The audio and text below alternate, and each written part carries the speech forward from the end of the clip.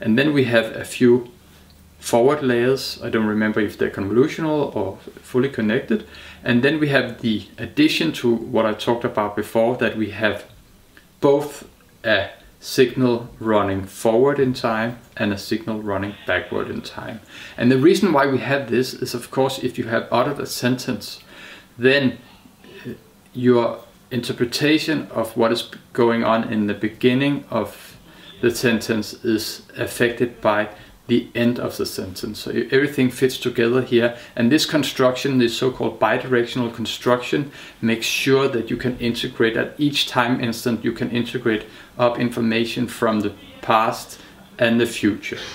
So that means that you have these two recurrent flows and once they are, uh, once they are completed, then you send the information upwards to uh, to a feed-forward neural network that will make the classification into what letter has been uttered at, at this time instant, more or less like that. You can also have situations in in uh, of course in speech where there's nothing being said, but more or less like that. Yes. So here's an unrolled drawing of this of this bidirectional structure. So you can see now we have we have a little bit more of, of kind of things going on, but it's the same basic idea. And in this kind of drawing, we have a lot of weight sharing. And this is, now you can also see what I mean by a deep structure, because in the time axis, you have, you have like, you send a signal very deep. And then of course you can have at the output layer, you can have a cost function, for example, a cross entropy cost at each time step. So it's a little bit of a different type of depth uh, definition in that in that respect. Also, we can, of course, and this is done a lot, of course, is to you that you can have several of these recurrent network information streams, both forward and, and backward in time, have them uh, put on top of each other so that actually the second recurrent layer can get inputs from the recurrent layer uh, below. Yes, okay, so I already talked about deep speech as, a, as an, a successful application for recurrent neural networks. And a second very successful application of neural networks is within machine translation. And to perform machine translation, we take a sentence in and we then, as an output of the model, we get a sentence out in a different language. So we need to define a recurrent architecture that can do this task, right? So that can take a sentence in and spit a sentence out. And kind of a architecture that has emerged for this purpose is a so-called encoder decoder architecture. So what is shown here is you have a sentence, a cartoon of a sentence, ABC in English, let's say that.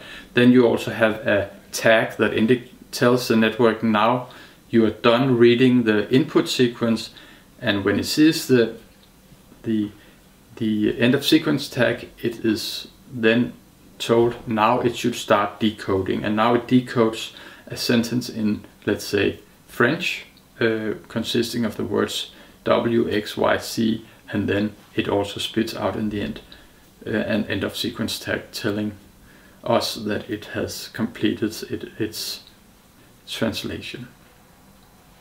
What is interesting about this model, so, so okay, so there are several things interesting about this model, but if you think about it, you can see that all the information about the inputs sequence is encoded in the last state, last hidden state of the encoder. So once it gets the, the first end of sequence, or gets the input end of sequence tag, then it has some certain hidden state which is defined from all the uh, preceding sequence it has read. And that information is everything it has to go for on for to actually translate. So it has to memorize in that single state everything it has seen so far in order to translate. But it actually works to do it like this. There had there's been, and we'll talk about it a little bit later, uh, proposals for models that overcomes this bottleneck of having this last encoder state as kind of initiator uh, and all information carrier on, on the translation. I'll come back to that. But it's interesting to actually look at uh, what does this uh, last hidden state in the encoder actually learn. And here is an example from, from the same paper as I showed on the previous slide where they have inputted a bunch of different sentences and these sentences is then represented by a long vector, let's say there are thousand uh, hidden units in the hidden layer, uh, the last hidden layer.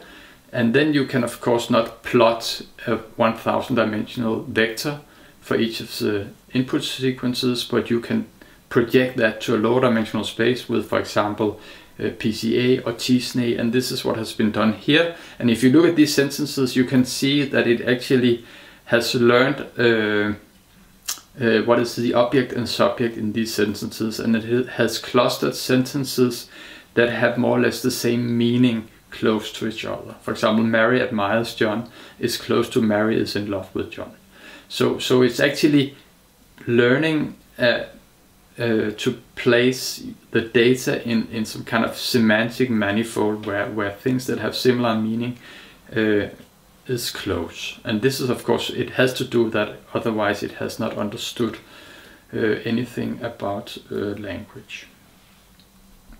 Yes, another example of where we can use uh, recurrent models. This is a more like academic exercise, I would say, but still a fun one, is uh, this paper called Learning to Execute.